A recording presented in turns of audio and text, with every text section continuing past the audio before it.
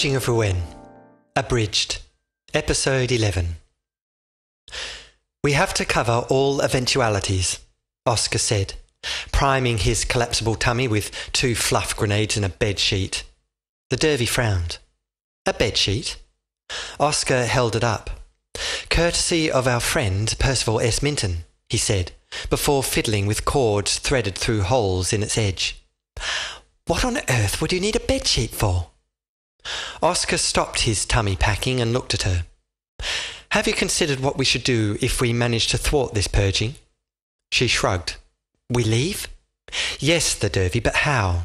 How do you escape a castle with only one entry or exit? She frowned, admitting that did complicate matters. In my experience, he continued, returning to his sheet threading, the best means of escapes are often the simplest. In the heat of trouble, there is little time for thought, because fear permits instinct only. And as I'm terrified of cliffs, my instinct suggests taking bed sheets. Are you frightened?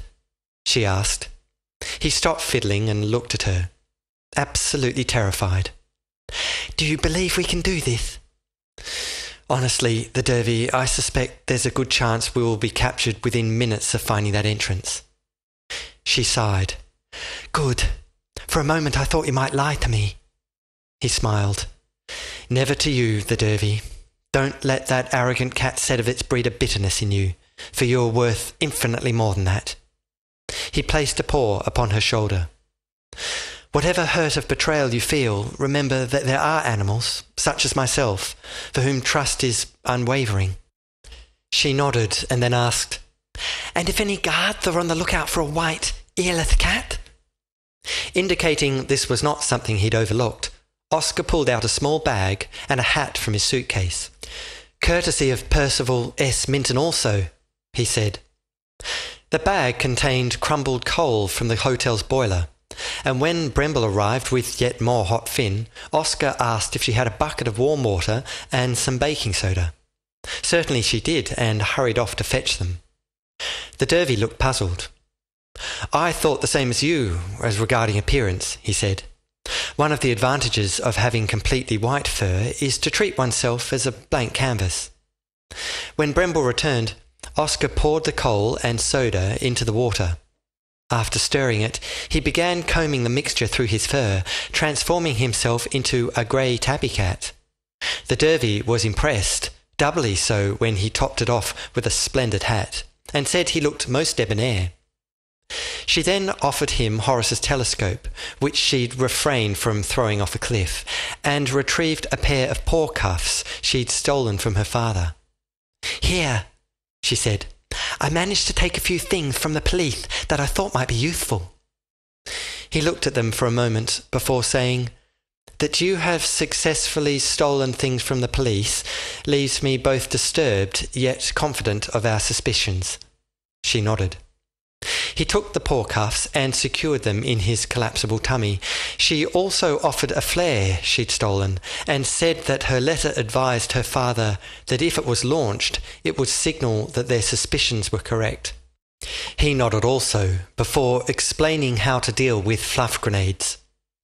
Cover all available orifices, he said, demonstrating with his paws. Hold your breath and throw yourself from the fluff cloud. She copied him. And if I don't? Then you'll cough terribly, splutter, and get the worst case of worms you can possibly imagine. Goodness, that's pretty bad. Oscar humphed. If you thought you knew your bottom before a fluff grenade, you certainly won't afterwards. The front door banged upon Horace's return. When he arrived in the sitting room, he looked tired and troubled. His demeanour improved, however, upon seeing Oscar's disguise. Much to the Dervy's surprise, he gave the boat keys to her. Here, he said, jangling them. You know these waters better than Oscar. I shall leave it up to you to navigate in the spicy Cabinari's wake. She took them hesitantly before glancing at Oscar and then at Bremble. Are you quite certain, Horace? she said. I mean, after your beloved Finn there are. Quite certain the Dervy. Such loss means little in the light of your rescuing Oscar. And regardless, this boat will be at considerably less risk than any car, surely, for it shall remain at the base of cliffs rather than perched precariously at the top of one. Grateful beyond words, the Dervy lunged at the dog to embrace him. Oscar smiled, after Sedovitz's horrid betrayal, to show the Dervy such trust was invaluable.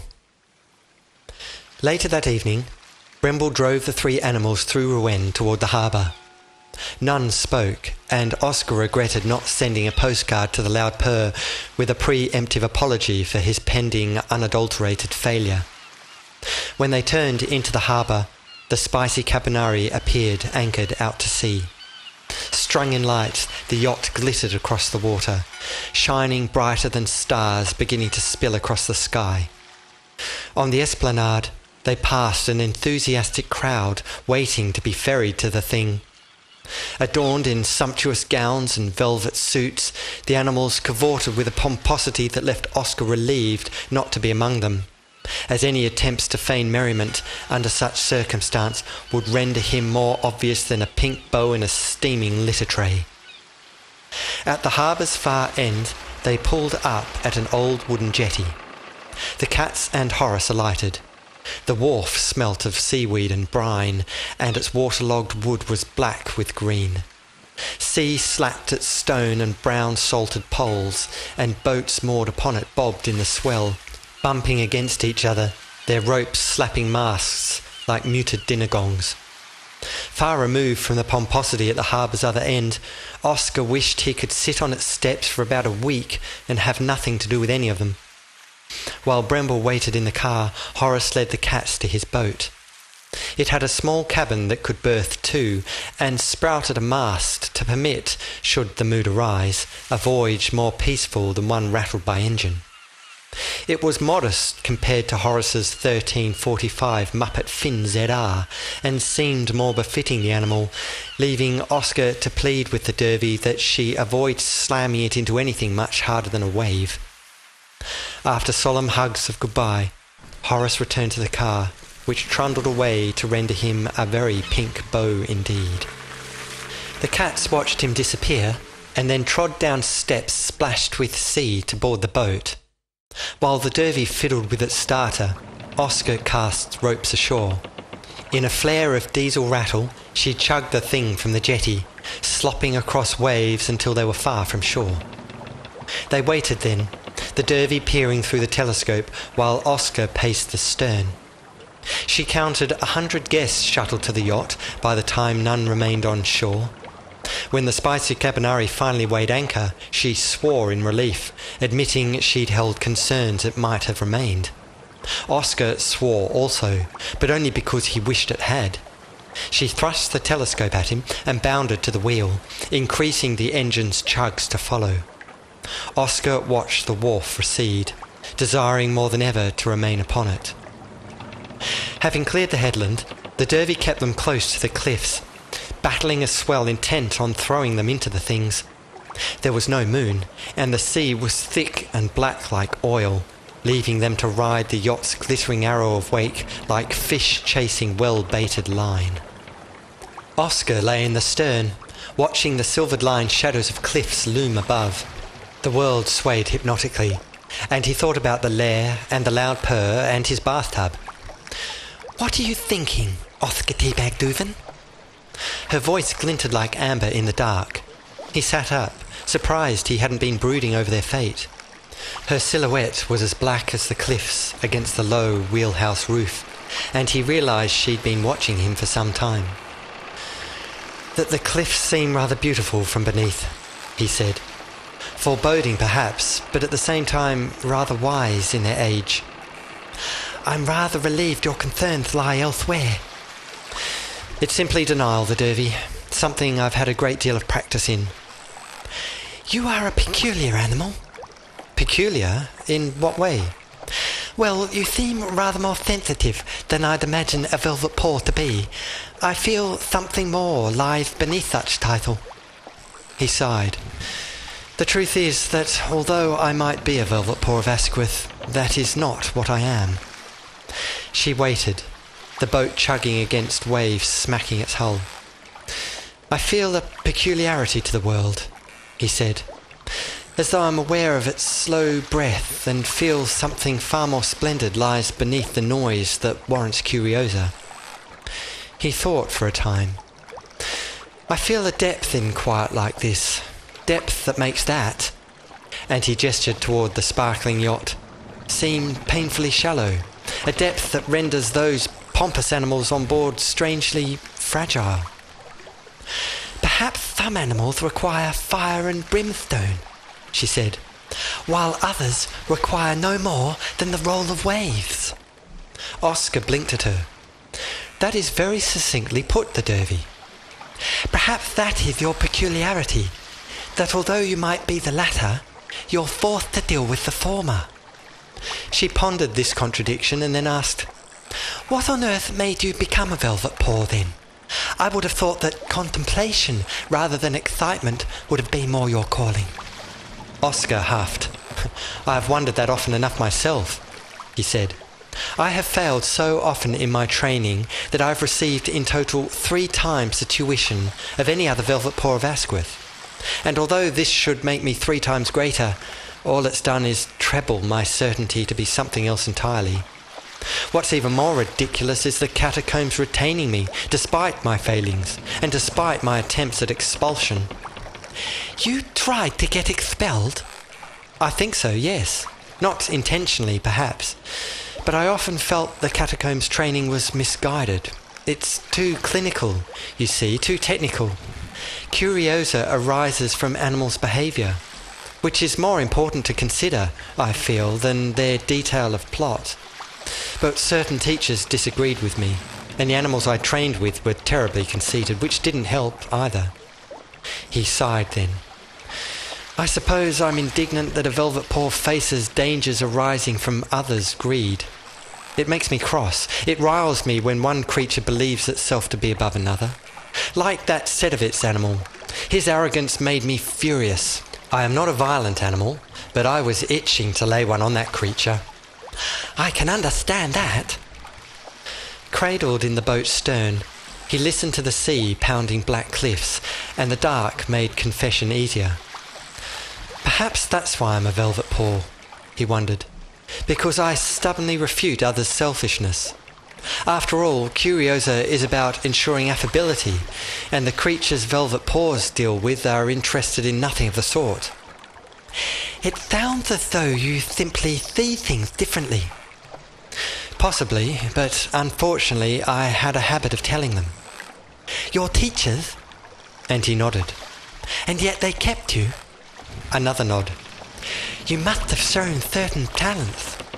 No, not at all. I'm no mercenary, and I'm far from being a soldier. I happened to stumble through my first curiosa with great swathes of luck, which left the catacombs under the impression I have ability. They even suggest I have talents others do not, which is ridiculous, considering the only talents I've demonstrated are losing appendages, shredding taxis, and inverting cathedrals. He fell silent again before adding, Most velvet paws are notoriously conceited and I must admit to wishing I had something of their courage. For Curiosa requires masses of both, and I have little of either. The Dervy stared at him. I can't believe you have such misgivings. You saved my life, and the life of another. You sacrificed your ears for as much.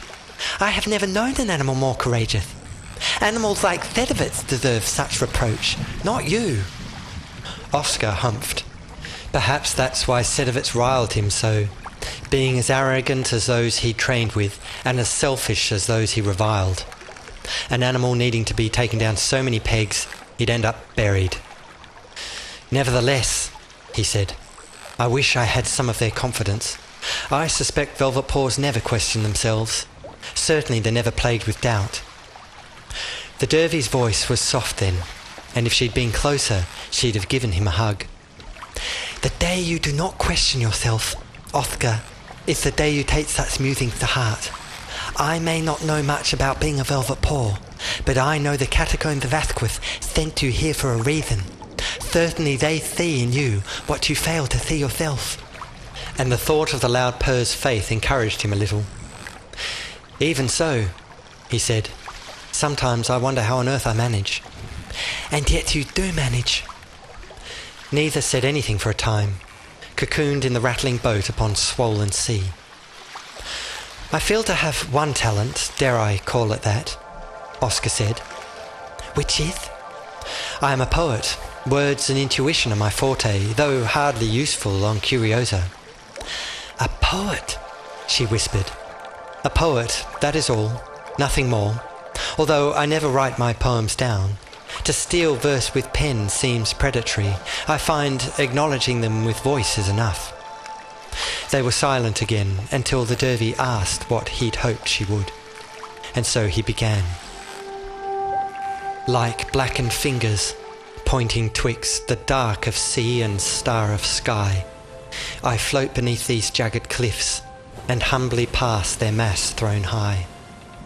Although they tower and wrench while still and froth in ancient blackened stone, my boat upon water will safely drift, and in their presence I shan't drift alone.